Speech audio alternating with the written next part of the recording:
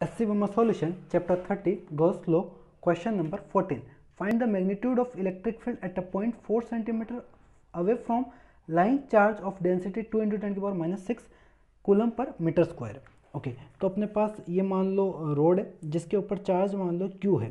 इसका charge density given है lambda is equal to Q by L charge per unit length ये अपने को गिवन है लेमडा दे रखा है।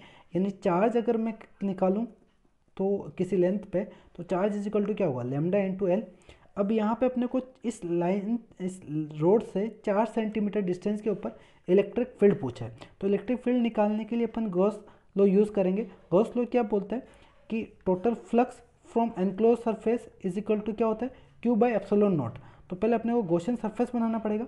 तो लीनियर चार्ज के लिए गोशन सरफेस होता है सिलेंडर ठीक है? अगर नहीं समझ में आए तो इसको क्या करो? अगर मैं फुलाऊँ तो ये सिलेंडर का शेप लेगा। तो अपन एक काम करते हैं, यहाँ पे गोशन सरफेस बनाते हैं, ठीक है? और ये जो इसका पेरिफेरल है, वो फोर सेंटीमीटर से पास हो रहा है, ठीक है? यानी यहाँ पे हमें इलेक्ट्रिक फ़ील्ड फाइंड करना है। तो यहाँ से ये चार्ज एनक्लोज है, ये चार्ज एनक्लोज है। पहले ये चार्ज एनक्लोज कितना है वो निकाल लेते हैं। तो मान लो ये लेंथ मेरा, ये लेंथ मेरा एल है तो चार्ज कितना होगा? क्यू होगा। चार्ज, अगर लेंथ एल है तो चार्ज कितना होगा? एनक्लोज चार्ज कितना होगा? Q is equal to lambda into L होगा। Okay okay. और यहाँ पे जो फ़ील्ड होगा, इस चार्ज की वजह से फ़ील्ड इस डायरेक्शन में होगा राइट फ़ील्ड का डायरेक्शन ये होगा। Okay okay.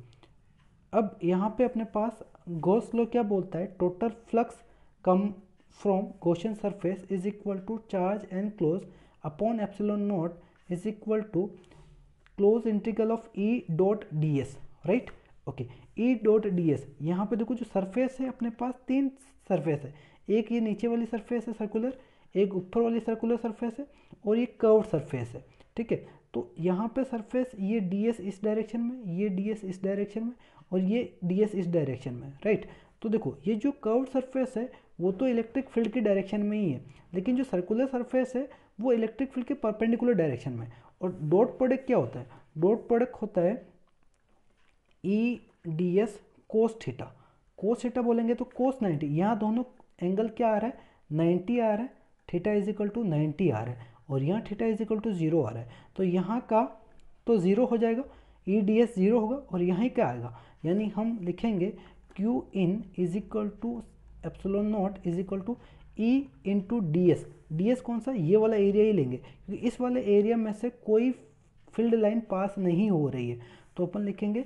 ये वाला एरिया कितना होता है? पाई ये मान लो अगर आर लिखा अपन ने तो pi R two pi R into H H कितना है अपना? एल राइट ओके तो अपने पास क्यू इनक्लोज कितना है? Lambda into L lambda into L upon epsilon naught is equal to E into two pi R L L L cancel out तो E is equal to आ जाएगा अपना lambda by two pi R epsilon naught right okay, यहाँ पे इसको easy करने के लिए ऊपर नीचे टू से मल्टीप्लाई कर देते हैं तो ये आ जाएगा देखो lambda upon four pi epsilon naught into R four pi epsilon naught क्या होता है? K lambda by R right अब आंसर निकालते हैं वैल्यू पुट करते हैं। के कितना होता है? नाइन इंटू टेन की पावर नाइन लेमडा अपने को दे रखा है टू इंटू टेन की पावर माइनस सिक्स और आर अपने को दे रखा है फोर इंटू टेन की पावर माइनस सॉरी एक ये टू आएगा ना, यहाँ पे टू मल्टीप्लाई कर देते हैं। आर कितना है? टेन की पावर माइनस टू। तो फोर फोर कैंसल आउट। ये तो टेन की power minus four minus four और प्लस नाइन, यानी फाइव। यानी नाइन इंटू टेन की पावर फाइव, क्या आ जाएगा? Newton per coulomb electric field आएगा।